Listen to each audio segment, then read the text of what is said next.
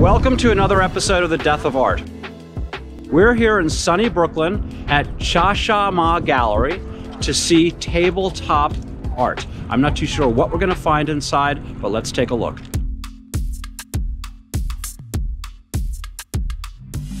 This show is an Art Students League group show, produced in the Art Students League, members, people enrolled in classes. Many of these paintings are not recent. Some of them go back to the 90s, but I guess it's their favorite work, and they're doing a show here.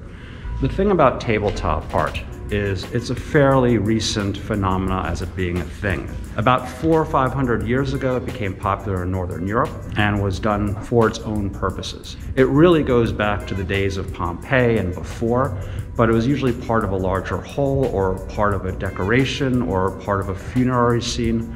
So now we have this development where really objective art like this has really fallen out of the art world. You just don't see it. It appears sometimes in galleries, but those are not the rock stars of the art world. So we're seeing a little bit of a throwback at this point.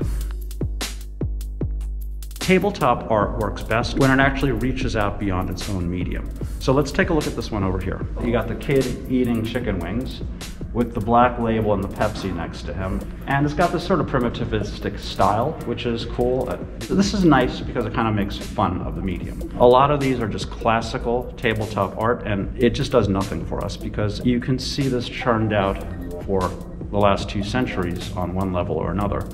Um, an example of this is this. This is like a practice session.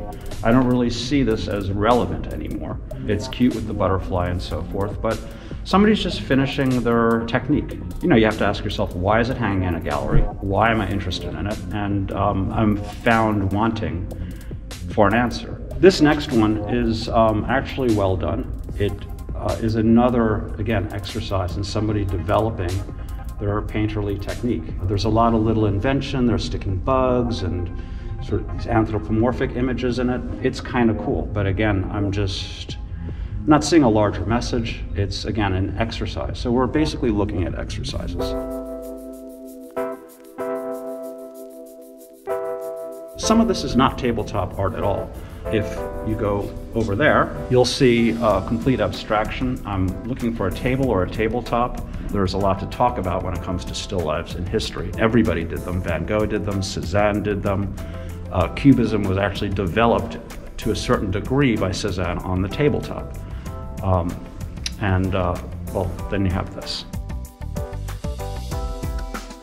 If you step back, the level of luminosity and light that comes off of these two or three paintings that Yuri Tashiti has in here is really nice. I mean, again, it doesn't actually go beyond the level of an exercise, but it's well done and it's a unique style, so it's something to see.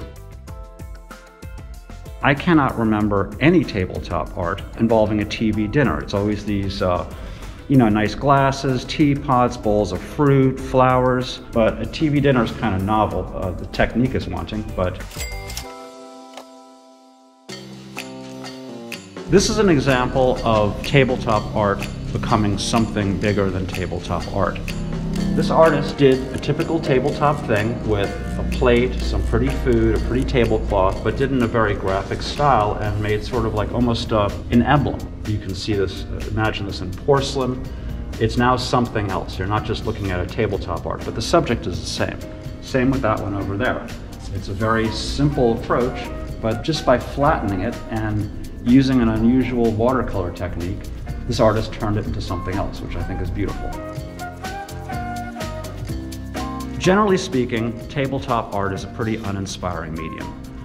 We came here, we saw some interesting examples a little outside of the medium, but I'm done talking about this. This thing, it makes me hungry. Let's go.